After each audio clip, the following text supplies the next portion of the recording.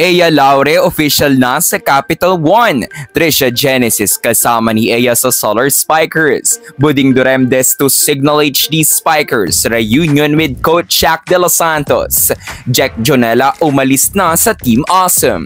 Good day ka trending. This is Ron Michael, the voice artist of this channel. Ngunit bago natin yung pag-usapan, huwag mong kalimutan mag-subscribe and click the notification bell para updated ka sa latest Pilipinas volleyball trends. Nagimbal ang Volleyball Landia magmula nang lumabas ang balitang aalis na si Ea Laure sa Charity Go Crossovers. Sino nga ba naman kasi ang mag-aakalang aalis si Ea na face of the franchise ng Cherry? Dahil sa talento at kayang i-contribute ni Ea for a team, talaga namang pinagkaguluhan si Laure to convince her na sa kanila pumunta si Ea. Ilan sa mga koponang nakipag-agawan kay Laure ay ang Choco Mucho, Signal HD, Capital One, PLDT at Akari.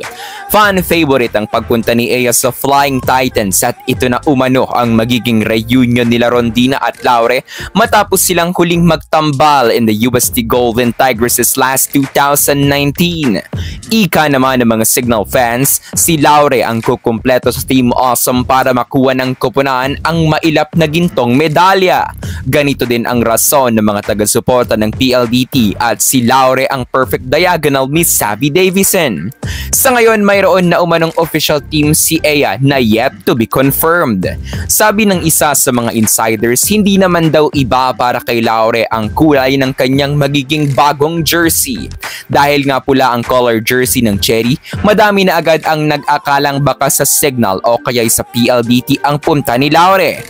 Subalit tila na overlook ng karamihan na noong college ay kulay gold ang UST jersey color ni Ea katulad ng kung ano ang meron ang Capital One Solar Spikers. Sa ngayon hindi pa man kumpirmado pero tila sa Capital One na nga ang magiging next destination ni Ea.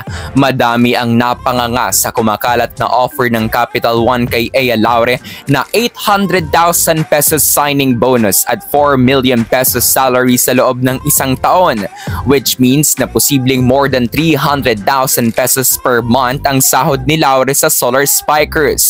Kung sakali, Ea will be the Marina Tushova of Capital One this all Filipino. Ayon kay Capital One co-owner Milka Romero, they are planning to have a big recruitment para mas makasabay ang kanilang kupunan sa mga title contenders ng PVL at tila sinimulan na nga nila ang planong ito with Ea Laure. Hindi pa man confirmed pero more than 50% sure na si Ea sa Capital One. This coming all-Filipino conference, mayroon pang bagong muka sa Solar Spikers. Namataan sa training ng girls si former Adamson outside spiker from Nextled Chameleons, Trisha Genesis. Hindi lang basta nakita sa training ng Solar Spikers si Trisha, bagkus nakasuot din ito ng Capital One training shirt. Samantala, hindi nga lang si Ea ang umalis sa Charity Go, pati na rin ng kanyang ate na si EJ at ang kanilang libero na si Buding Duremdes. As of now, ang ating napapabalitaan ay si Buding ay magkakaroon ng reunion with her college coach sa FEU na si Coach Shaq De Los Santos. At siya ay pupunta sa panig ng Signal HD Spikers.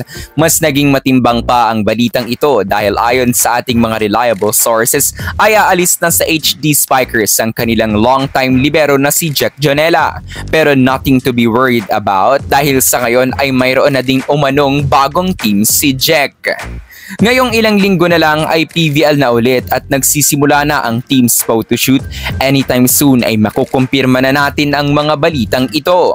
Tutok sa mga announcement ng mga koponan, hindi magtatagal ay lalabas din ang accurate news tungkol sa PVL Lipatan. So that's it for today's video ka-trending. Do not forget to subscribe and click the notification bell para updated ka sa latest ganap ng women's volleyball sa Pinas. Thanks for watching. Bye for now! Peace.